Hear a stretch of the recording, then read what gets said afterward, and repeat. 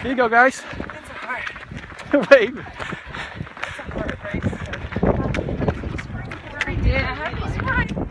Happy spring. We gotta get some of these today.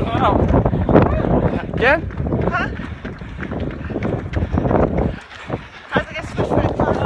Car fast.